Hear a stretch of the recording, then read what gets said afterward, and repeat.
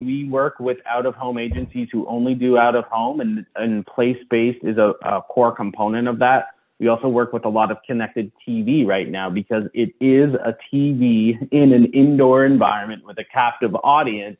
I mean, who doesn't want that? It, it, they're sort of blending together, right? Um, the benefits of, of indoor or digital place based is that it's very efficient. And what I mean by that is let's say you're trying to reach um, young men who are in a health and fitness lifestyle. You could put an ad on a billboard where you think those people live, which would be great. But what you can also do is put that ad specifically in gyms.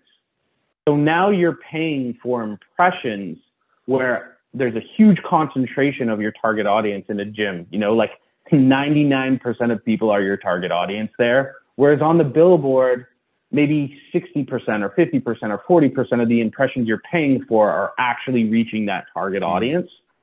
So it, it's a really, really efficient way to spend your ad dollars.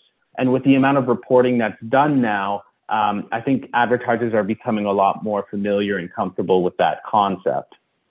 So, um, you know, whether it's an omni-channel DSP, an agency direct, there's a lot of benefits to doing indoor versus outdoor. And I would say if I had to pick one, efficiency would probably be it.